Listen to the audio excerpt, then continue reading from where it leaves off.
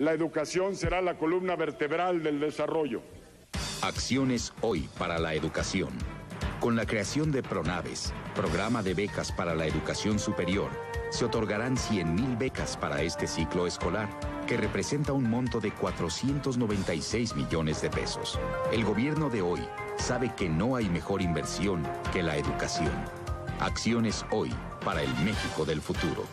Gobierno de la República.